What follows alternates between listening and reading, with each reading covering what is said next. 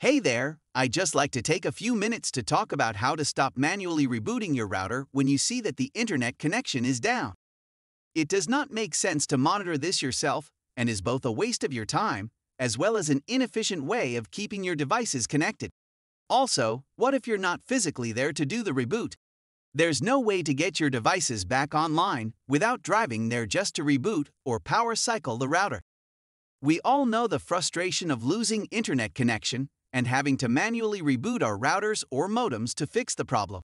But there is absolutely a better way to manage this issue. Keep Connect is a smart plug that is designed to monitor internet connection and power cycle the router automatically saving you time and effort. Why is this better? Obviously, it saves you time and hassle, especially if your router or modem is in a hard to reach location.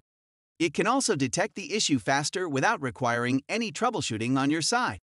And the most crucial use case is for those that want to be able to rely on their smart home devices being online while they're away from the home, such as security cameras, water sensors, door lock, garage door openers, and many other smart home devices.